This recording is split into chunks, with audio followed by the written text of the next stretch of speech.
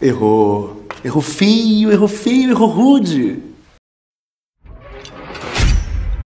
E aí, tudo bem com vocês? A Márcia Sensitiva está sendo cobrada nas redes sociais, que figurou entre os assuntos mais comentados no Twitter após a eliminação do Brasil na Copa do Mundo do Catar.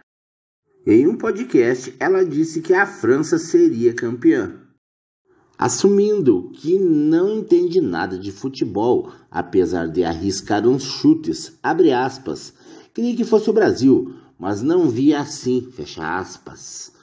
Quando a Copa começou, Márcia também mudou sua previsão ao saber que a seleção francesa tinha vários desfalques.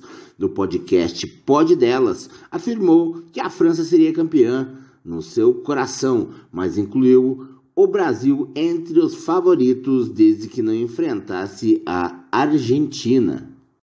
Em outro podcast, Podcasts, há duas semanas manteve a aposta no Brasil, aspas, se Deus quiser, vai até o fim. Também chutou Inglaterra e Argentina, só que não podem se enfrentar na final.